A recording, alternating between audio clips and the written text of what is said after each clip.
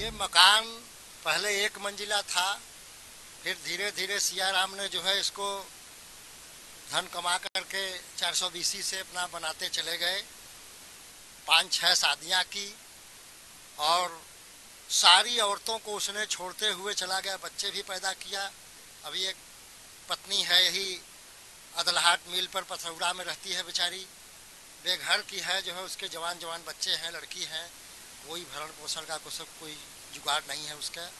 और यहाँ जो मकान बनवाया है, इससे अगल बगल के रहने वाले लोगों को बहुत बड़ी तकलीफ़ से गुजरना पड़ रहा है। इनके पटीदार हैं, जयसराम भाई के लड़के हैं, सुभाष सुभाष, इन लोगों को बराबर भय बना रहता है। एक ही बिल्डिंग गिरेगी तो हम लोग दब करके हादसा हो जाएगा, हम लोग मर सकते हैं, कोई बात। तमाम अगल बगल रहने वाले नहीं रह रहे हैं, घर में छोड़ करके भाग जाते हैं बेचारे। ये चौदह से पंद्रह मंजिला बिल्डिंग है। ये बहुत ही जर्जर बिल्डिंग है।